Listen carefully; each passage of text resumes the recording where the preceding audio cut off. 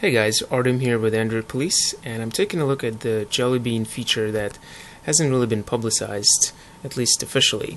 And I think it's actually one of the coolest features um, that the Android team introduced. You know those uh, AirPush ads that sometimes appear in the notification area and you don't really know where they came from? Well, Jelly Bean puts an end to those. Uh, here we have the Nexus 7, um, the new tablet from Google. Uh, it's running Jelly Bean, obviously, and check it out.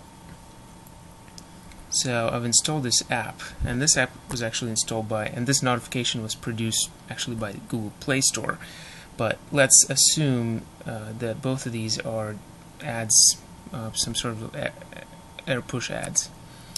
So what you can do is you can long press, and now you can click App Info, and you will figure out exactly what app has pushed the notification in there.